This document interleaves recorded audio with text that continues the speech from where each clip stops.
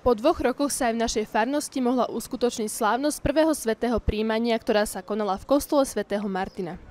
Keďže bol minulý rok podobne ako tento poznamenaný pandémiou, príjmania sa zúčastnili nielen deti 3., ale i 4. ročníka. Slávnostné sväté omše celebrovali páter Matúš a páter Bazil.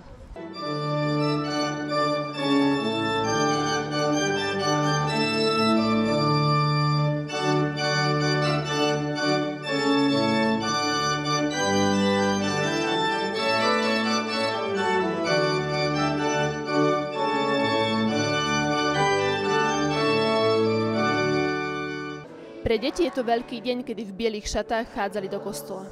V sobotu prijalo túto sviatosť 38 detí.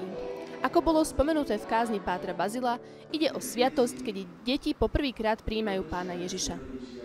Jedno, čo vtedy oni prijali a čo dnes príjmete aj vy, je stále také isté, rovnaké, stále tak isto hodnotné.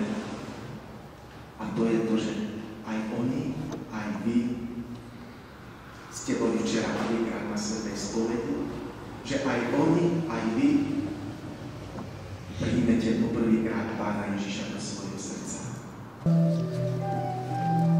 Telo Kristovo.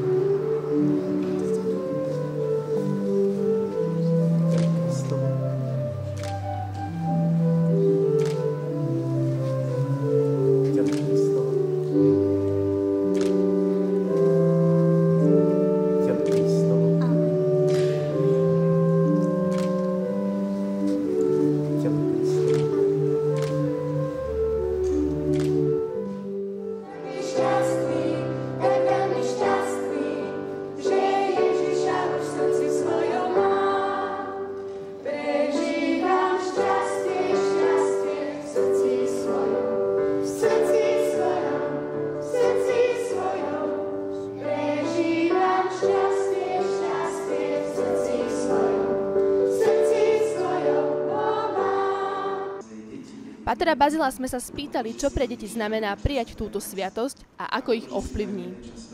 Má taký prvý živý kontakt s tým, o čom len počulo, čo sa učilo a čo vlastne verí. Je to vždy, každá sviatosť je skutočné stretnutie so živým Bohom, kde pôsobí Božia milosť a práve to je dôležité, aby sme túto skúsenosť mali, lebo bez Božej milosti nie je to spásy a práve tie sviatosti nám túto Božiu milosť prostredkovajú. Takže tieto deti, či už včera pri prvej svetej spovedi a dnes pri prvom svetom príjmaní, mali možnosť sami fyzicky naživo zakúsiť pôsobenie Božej milosti a verím, že si to užili.